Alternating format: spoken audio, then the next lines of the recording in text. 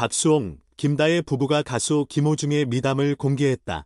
김다혜는 지난 3일 자신의 개인 인스타그램에 호중님이 부른 고맙소를 남편과 늘 함께 들으며 어려운 시기 큰 위안이 되었는데 꿈처럼 결혼식에 나타나주신 감사한 사람 성격까지 좋으시면 어떡하나요 다 가진 사람 이라는 글과 함께 사진을 게재했다.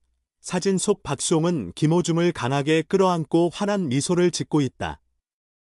또 다른 사진에는 김호중이 깜짝 축가를 불러주던 결혼식 모습이 담겨 있다. 한 누리꾼이 신부님뿐 아니라 신랑님도 모르셨던 거냐 고 질문하자 김다혜는 네둘다 깜짝 놀랐습니다. 라고 댓글을 달았다.